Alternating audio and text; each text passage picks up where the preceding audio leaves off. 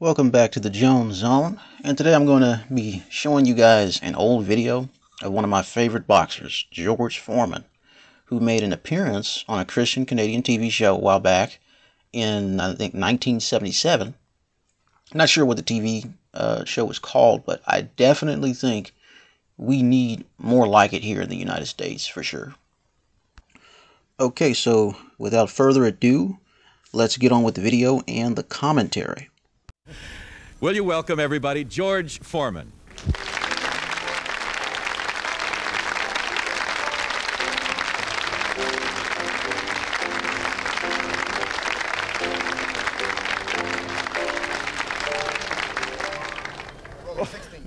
What, what, what, is, what is that verse you said before? I tell you, it's, a lot of people have been kissed by your fists. but I, I'm not, you, Romans you 16 just, and 16 said, greet the brother with a kiss of charity.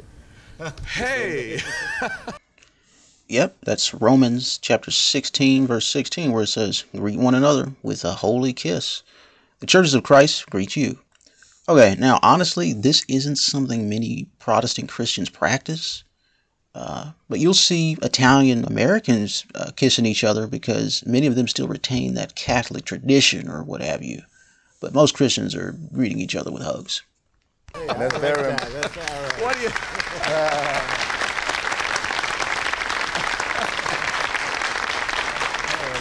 Oh, I'll t- you, You know, it I was forgot important. what I was going to say now. that was important because you know when Jesus went to the, uh, uh, I think it was Peter's house. I'm not sure, and uh, he said, "I come into your house and you gave me no kiss. This woman haven't ceased to kiss my feet." So a kiss is very important with God. You see. Yeah, he's talking about uh, Luke chapter 7, verses 36 through 50.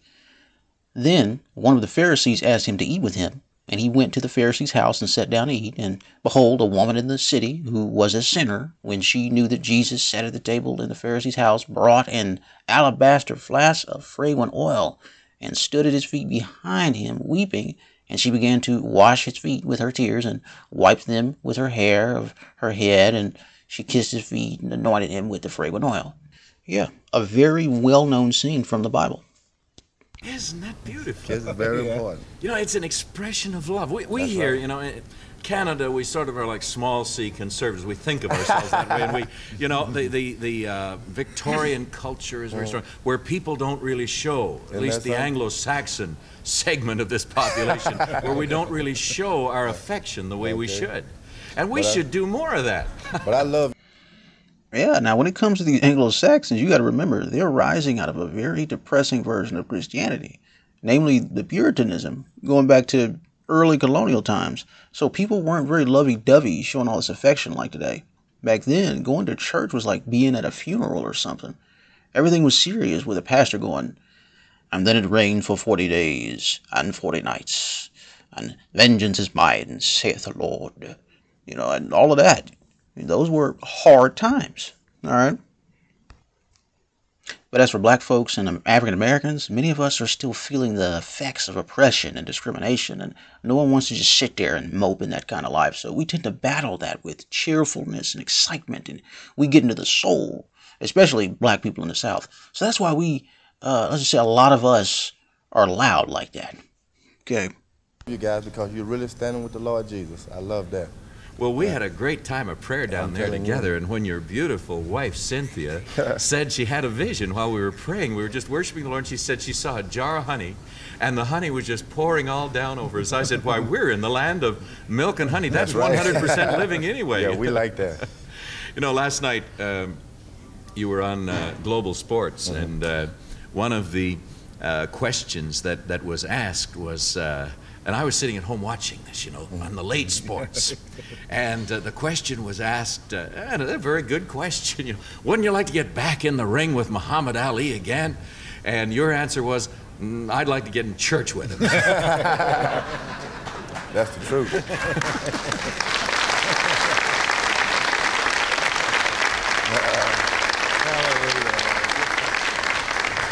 You know, I, I think this is going to be great. We have almost, almost an hour yet. Okay. And we just want you to just open up and share everything that the Lord would have you share with us. Your boxing career here in this newspaper article, you were still rated number four, although from what I hear, you, you know, you're not you're number four without really trying. and, and uh, because you know, you are you you're officially retired? Well, I, I never said I was retired. After my experience in Puerto Rico, I think March the 17th in uh, 1977, I went back into the dressing room and I was just cooling off. And I started walking and cooling my body off, and I was just overtaken with that I was going to die. And I experienced a death in that room. And uh, now, who were you fighting? Uh... I had fought Jimmy Young, and I had just lost the fight, just a, a decision. No one, it wasn't a tough fight or anything. I waited around to get the decision of the fight, and I saw that I had lost, and I went on back into the dressing room. Just a normal cooling off. And let me tell you, business picked up for me. I'd always prayed to God. I believe there was a God somewhere. But I said, you know, no matter what, you know, there's, you know, everybody got their own religion so long as they treat people right. When I left that dressing room, I was screaming the name of Jesus. Let me tell you, I went back after I was, I was snatched out of my body, and I don't know if you've ever been to the sea. As far off as you can see is nothing but water. Well, I saw it, but as far off as I could see was nothing but people caught out in like a trap. And I know this place was hell, but I said, I don't care. If this is death, I still believe in God. Then I was snatched right out of that place and taken to another place of life and back into my body, and I started screaming, That's all right, I'm dying for God. And so as I was sitting there, I was snatched into all kind of religions and brought back into the dressing room. I didn't know what was going on. So I got ready to get up off the table. You actually felt you were dying. I saw death. I saw it. I mean, I had built my whole life on real estate and what I had in the bank. And I saw it all like a big joke. I don't know if you stick a match to a piece of paper. For a moment, it stands up after it's burned, and then you touch it and it crumbles. I saw the whole world crumble behind me, and all I had was nothing. I had to leave all of that in the world, and I couldn't even tell my mother bye. I was dead. I was dead, and I started crying. I said, Lord, I don't want to die, and I don't want to die. I can still box, and I was just talking to God. I can still box. He said, I don't want your money. I want you. So I, as they laid on the table, I'm, I'm coming back into my body, and I told one, my doctor, there was eight men in the room, to move his hand because the thorns are making him bleed. And blood started running down my face. And I told the other ones to move their hand because the blood on my on his hands was making, you know, his bleeding on his hand, and on my feet there was blood. All the places where Jesus had I died. And I never believed in Jesus. I wasn't gonna go for it. I never would have. But let me tell you, Jesus is alive. I started screaming, Jesus Christ is coming alive. I walked out of that room, I, jumped up off the table and hit, hit in a cold shower. I had to fight eight men to get into a cold shower because that's the last thing you want an athlete to do after a fight is get into a cold shower and there was no hot water. I started screaming words like, hallelujah, I've been born again. now right here, George is talking about being baptized in that cold shower. Some people think you have to actually go down in the water, but it doesn't seem to work that way for everybody. God will take that shower if that's all you have to work with. So George got the vision from God first, then he received the Holy Ghost, and then he started speaking in tongues. And there's some people who don't even get baptized, but the Holy Spirit just runs through them and they start speaking in tongues for the first time. So yeah, um, moving on. Really? and so uh, in the dressing room, so I come out and then I, from, from, from, from my stomach, the lower part of my stomach, I couldn't control no more of what I was saying. The only thing I could manage to say was, I don't know what I'm going to say next. And I started speaking in tongues and everything in Did the dressing room. Did you know room. what that was? Did I you? didn't know nothing about none of it. I mean, I just sit there and I couldn't control myself. They thought I was crazy and, and hurt, and they took me to the doctor. You know, they, they thought I was losing my mind. And they took me to the hospital and, and ran all sort of tests on me for about two or three days, and nothing was wrong with me. But I saw the glory of God. I saw it. Let me tell you that Jesus is alive. There's a living God, and I didn't even know it. I was wondering about it, but now I'm not wondering. I know. And I thank God because there's a lot of people who think for sure, and maybe and maybe not, but I know. God, I don't know, for some reason, touched me, an old sinner, just an unclean man out in the world, just doing everything, and showed me that there's a living God. Since then, I've been telling everybody, I don't care where you come from, what are you doing, stop it and learn about God and the Bible is here. It's been here for thousands and thousands of years, thousands of years. And why God did this for me, I don't know, but I just praise Him every day. I dropped everything I was doing to tell the whole world that Jesus Christ is alive. God took me all over the country, fighting in Africa, Puerto Rico, uh, Europe, everywhere, and I was just trying to exalt George Foreman. Now I'm going all over trying to tell them about Jesus. Okay, so that's a green light right there that you have the Holy Ghost. You get that urge to want to tell people about Jesus. You know, and life becomes more than just benefiting you. It's about a greater good and sharing the word with other people now. All right.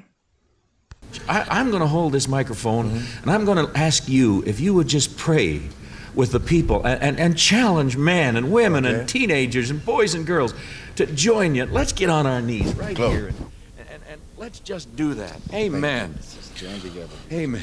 O Lord God of heaven in the name of Jesus Christ, Lord, you give these souls who are listening to me enough courage, Lord, enough energy just to fall down, God. Go into a closet if you're embarrassed. God don't care where you are and shout the name of Jesus Christ. Ask God to show you something. God is no mystery. He's alive. He'll come right into your life. In the name of Jesus Christ, Lord, I ask that you move on every family who have enough nerve to humble themselves to know that there's one Lord one faith, and one baptism, and that Jesus Christ is indeed alive and the Son of the living God. In the name of Jesus Christ, Lord, I ask you to move on these souls, Lord. Thank you, Jesus. Glory, Lord. Amen. All right, man. That was a powerful prayer, man. How he his his bodily gestures, his energy, and everything like that. That was a powerful uh, prayer. You can see it that he really believes in what he's saying that he has faith in God, man. You really can. It wasn't one of them little oh I I feel like I have to pray kind of thing and you know you have to push yourself kind of thing. No, it wasn't that. It was the real deal. You know, this man really saw the, the Lord was touched by the Lord. He said, Lord, if you just give him enough energy to make him fall down. Do you know what I'm saying? That's some that's some power right there, man. You know, and it just it's, it's amazing. And the dude standing beside him was really getting into it. You saw he was really, really getting into it and everything like that. I had me laughing there for a second, you know, uh, standing on his, uh, I think on his left. But yeah, man, uh, that's all I have for you guys. Uh, you guys stay blessed, all right?